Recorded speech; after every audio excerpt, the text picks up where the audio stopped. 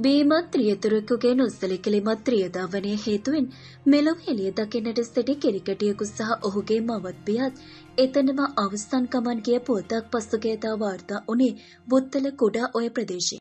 එම අනතුරෙන් මිය ගිය පියා මවසා කිරිකටි පුතුගේ මලසිරුරු ඔවුන් පදිංචි නිවසට ගෙන එනවත් සමගම ධාරානිපාත වර්ෂාවක් ඇද වැටුනේ ගම මැදින් ගලා යන කුඩා ඔය දෙකට තලා යමින්. දිලානි නංගි අපි දෙන්නයි තමයි නිතරම ක්ලිනික් එකට යන්නේ.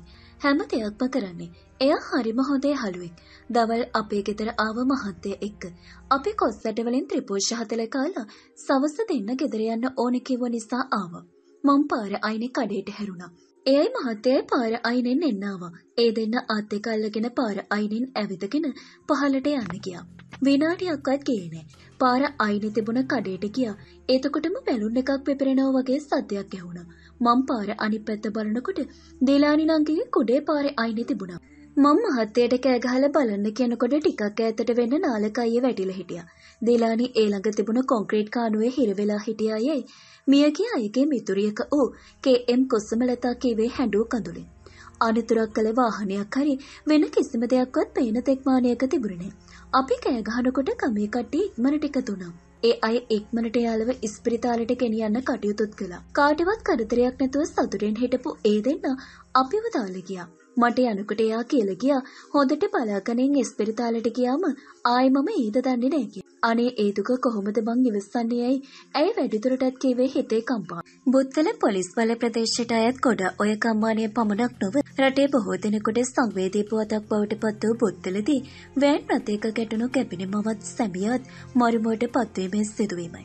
එම සිදුවීම ඔයේ වැල්ලබාය මොඩරාගල මාර්ගයේ කොඩා ඔය හන්දිය ආසන්නේ.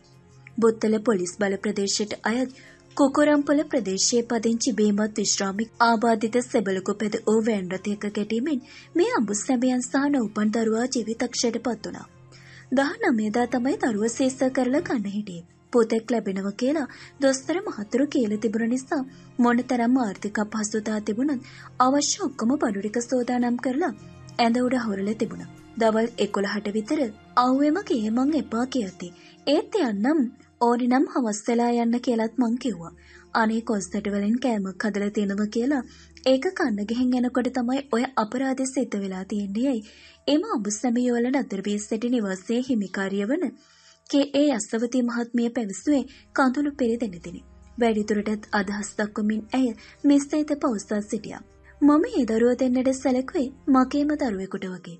කවදාවත් ඔබ බං බොලන් කියලා නැහැ. කියන්න කිසිම වැරැද්දක් තිබුණෙත් නැහැ. කන්න මොනව හරි කැමතියි කිව්වම මං හදලා දෙනවා. අපේ දුවල වගේම වටපිටාවේ අයත් උදව් උපකාර කළා. හරිම සමගියෙන් ඒ දෙන්න හිටියේ. හවස දෙකට විතර පුතා ඇවිල්ලා කිව්වා ආච්චි නාලක මාමා වාහනයක හැප්පිලා කියලා. මං කිව්ව බොරු කියන්න එපා කියලා. මම පාර දිහා බලාගෙන හිටියා. එතකොටම වගේ මේ ළඟදුවේ කඩාගෙන එනවා තුන් දෙනාම මැරිලා කියලා. අනේ මං කොහොමද හිතක් පපුවක් තියාගෙන ඉන්නේ. හෙට දරුවා හම්බෙන්න තිබුණ දවස. මොන දෙයියන්ටද මේ අපරාධ කියන්නේ. ඇය හැඬෝ කැඳලෙන් කිව්වා. මියගේ සඳුනි දිලිනි ධර්මස්තේන 32 හැවිරිදි. නාලක ප්‍රියදර්ශන 34 හැවිරිදි. නාලක කුඩා ඔය පාලමින් එගොඩ පදිංචි කරුවෙකි. ඔවුන්ගේ මහගෙදර නොනවිති ඒ කිට්ටුව පිහිටි කොල්ලි නිවසක සතුටින් ජීවත් වූ නාලකලාට ස්ථිර රැකියාවක් නොවුනත් බොත්තල වැල්ලවාය නගරවල ජංගම දුරකථන සිප්පත් අලෙවි කිරීම වෘත්තීය ලෙස හෝ සිදු කරමින් සිටියා. දරුවෙකු පිළිබඳ සිහිනය සැබෑවක් කරමින් පවුලක එකතු වෙන්නට සිටි කිරිකැටියා මෙලව එළිය දකින්නට දින තුනක් තිබියදී කිරිකැටියා සමගම මව්පියන් මරුතුරුලට යන්නේ හිත් පිට නැති බීමත් රියතුරුකුගේ ක්‍රියාව නිසා. අනතුර සිදු කර පලා ගිය වෑන් රථයේ රියදුරකේ නිවසේ තිබියදී සොයාගනු ලැබුවේ ගම්වාසීන් හා පොලිස් නිලධාරීන්ගේ මැදිහත් වීමෙන්. ඒ වන විටත් දෙදෙනෙකු යටකර පලා ගිය එම වෑන් රථයටද දැඩි අලාපහානි සිදුව තිබූ අතර ඉදිරිපස වීදුරුවක් කුඩු වී ගොස් තිබුණි අඹ සැමියන් ගැටීමෙන් ඇති වූ වේගයත් සමගයි. මෙම සිතිය සැලවීමත් සමග වැල්ලවාය මොනරාගල ප්‍රධාන මාර්ගය අසලට එක් රැස් වූ ප්‍රදේශවාසීන් වහාම සැකකරු අත්අඩංගුවට ගන්නා ලෙස බල කරමින් ප්‍රධාන මාර්ගය හරස්කර විරෝධතාවක් පැවැත්වූ අතර අනතුරුව ඔවුන් බුත්තල පොලිස් ස්ථානයේ ඉදිරිපිටටද ගොස් විරෝධතාවක නිරත වුණා. දැඩි ආර්ථික දුෂ්කරතා මැත්තේ ජීවත් වුණු මේ යුවලගේ අවස්ථන් කටයුතු කිරීම සඳහා මෙන්ම අවමංගල්‍ය කටයුතු සඳහා කම්වාසීන් සැදී පැහැති උදව් උපකාර කිරීමටද ඉදිරිපත්ව සිටියා. අත්අඩංගුවට ගැනුණු සැකකරු වැල්ලවායේ මහේස්ත්‍රාත් අධිකරණයට ඉදිරිපත් කළ අතර සැකකරු රක්ෂිත බන්ධනාගාරගත කරනු ලැබුවා. මේ අතර මෙකී අනතුර සම්බන්ධයෙන් ස්ථානීය පරීක්ෂණයක් වැල්ලවාය අතිරේක මහේස්ත්‍රාත් ගිහාන් රත්නායක මහතාගේ ප්‍රධානත්වයෙන් සිදු වුණා.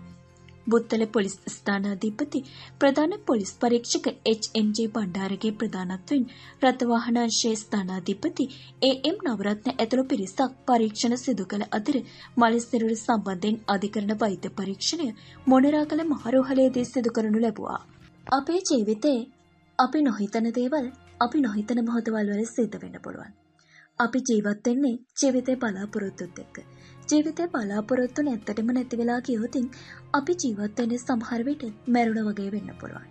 ජීවිතේ ජීවත් වෙන්න අපිට බලාපොරොත්තුවක් ඕනේ. එහෙම නැති වුණොතින් ගෙවන ජීවිතේ කිසිම තේරුමක් නැති වෙන්න පුළුවන්. ඒ ජීවිතේ සමහර විට සතුට කියන දේ නැත්තටම නැති වෙන්නත් පුළුවන්. ඉතින් අන්න ඒ නිසා තමයි ජීවිතයට බලාපොරොත්තු ඕන වෙන්නේ. ඉතින් අපි හැමෝගෙම ජීවිතවල බලාපොරොත්තු තියෙනවා. ලස්සන ජීවිතයක් ගත කරන එක හැමෝගෙම හිතේ තියෙන හීනයක්. නාලක වගේම සඳුනි කියන්නේත් එතමත් ආදරෙන් ජීවත් වෙච්ච යුවලා. අවුරුදු 32ක් වුණ සඳුනි ජීවිතයේ ගොඩක් බලාපොරොත්තු පදිබඳගෙන තමයි නාලක එක්ක යුග දෙවියක් ආරම්භ කරන්නේ. ඔවුන් වෙනමම සතුටින් ජීවත් වෙන්න ඕන නිසා තමයි මහගෙදර ඉන්නේ නැතුව කොයිතරම් අගහිඟකම් තිබුණත් කොලියට නිවසක් අරගෙන සතුටින් ජීවත් වෙන්න තීරණය කරන්නේ. ඒ සතුට තවත් වැඩි කරන්න පුංචි පුතෙක් ඔවුන්ගේ කුස්සට එන්නේ ඔවුන්ගේ ජීවිතේ තව තවත් ලස්සන කරන්න අලුත් බලාපොරොත්තුවක් එකතු කරමින්. ඒත් කවුරුවත්ම නොහිතපු වෙලාවක පුංචි පැටිය මේ ලෝකෙට එන්න දවස් තුනක් තියෙති අම්මයි තාත්තයි දෙන්නම එක පුංචි පැටියත් මේ ලෝකෙන් සදහටම යන්න යනවා. ඒ පුංචි පැටියා මේ ලෝකෙ එළිය දකින්නත් කලින්ම මේ ලෝකෙන් යන්න යනවා. අම්මයි තාත්තයි දෙන්නත් එක්ක තමයි එයා යන්නේ.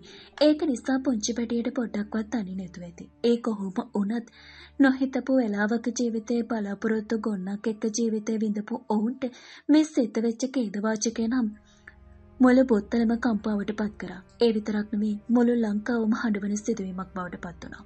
ගැපිණි මවක් ඒ වගේම ආදරණීය සැමියෙක් බීමත් රියදුරකු නිසා ජීවිත තුනක් කෙලෙසින් මරුමුවට පත්වෙන්නේ ඒ මහත් ඛේදවාචකයක් සිද්ධ කරමින් අවස්ථන අවන්ත ලෙස මේ ලෝකෙ හැරගියපු සඳුරටත් නාලකටත් ඒ වගේම පුංචි පුතාටත් අපි නිවන් සුව ප්‍රාර්ථනා කරනවා.